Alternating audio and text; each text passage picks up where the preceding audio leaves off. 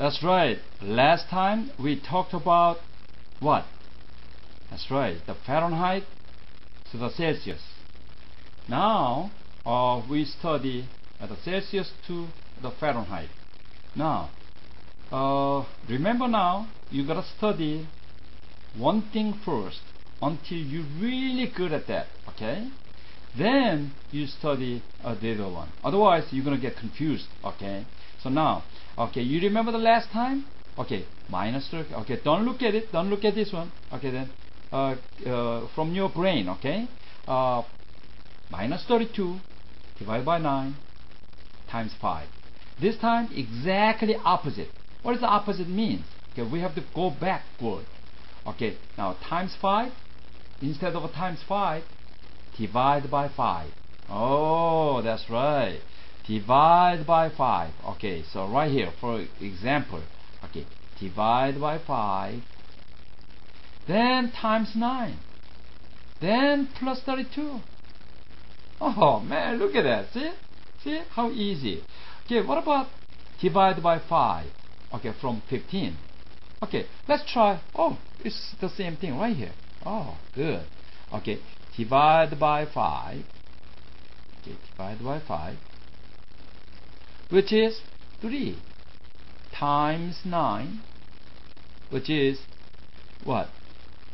27 plus 32 oh man. 59 oh so good 59 alright see? See how easy? Okay. Now this one. Let's try. Okay. Divide by 5 okay which is 2 times 9 which is 18 okay?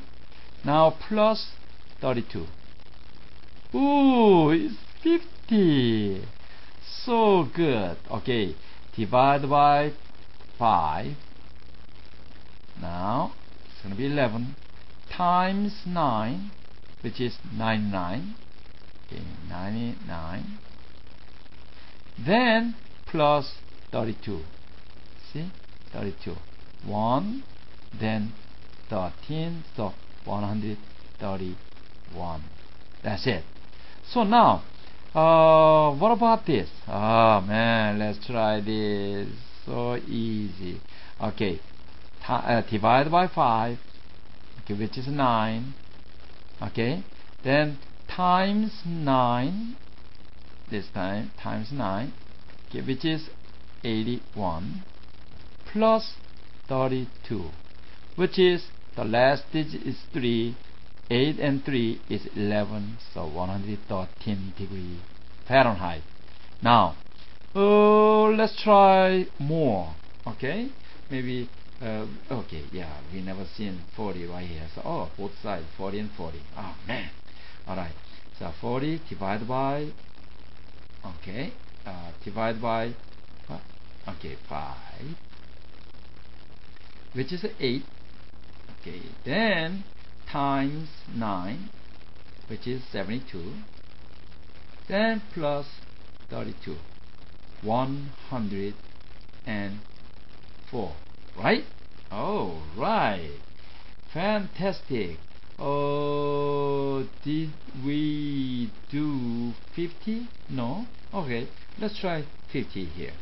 Okay divide by 5 which is 10 times 9 which is 90 plus 32 oh man so easy right? So 122 degree Fahrenheit. Okay you still remember Fahrenheit to Celsius? That's right minus 32 minus 32 first right? Which is what? That's right this is going to be 0 then this is going to be 9 right? 90 divided by divide by divide you can you can do this way. Divide by 9 which is 10 now what?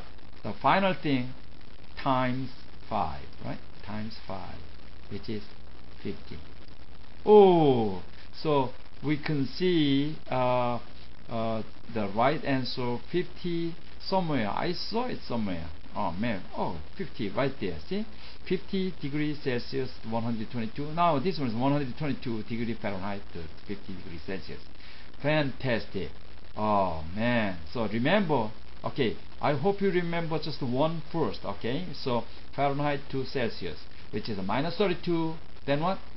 That's right. Divided by 9 times 5. That's it. Okay. Remember that one right here. Okay. Remember this one. Somebody has a photographic memory, so rem- remember this one. Okay. Somebody who has like a you know, uh, uh, different memory, whatever. Okay, then use that technique. Okay. Whatever technique, it works.